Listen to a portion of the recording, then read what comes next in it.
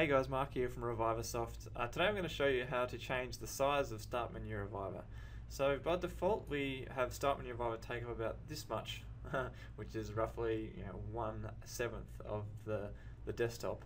Uh, it's a little bit larger than the standard Start menu from Windows 7, uh, obviously not quite as big as the full-on Start screen from Windows 8, but it's, uh, it's we think a nice balance because it allows you still to use the tiles with, with a touchscreen and uh, gives you a lot of real estate to, to place applications in the start menu. But there is a way to change the size of the start menu and this size that you're looking at right now is what we'd call medium size. To change it to large or small, you can click on the settings option within Start Menu Reviver and then go to Start Menu Settings and then you go to the Start Menu option and you'll see here there is a setting for start menu size and you can see it's, it's set to medium.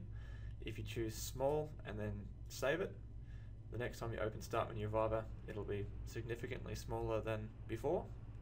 And then you can also make it large. So you go back to the start menu area again within the, the settings change it to large save that.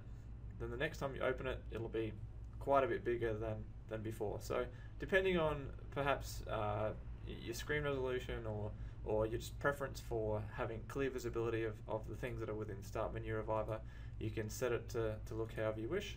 Um, you might just wish to keep it at the medium setting. So uh, you've, you've got a choice, and uh, if you've got any questions or feedback on, on the way we've done this, please leave a comment in the comment section below. Otherwise, just contact us through reviversoft.com, and uh, I look forward to seeing you in a future Reviversoft video.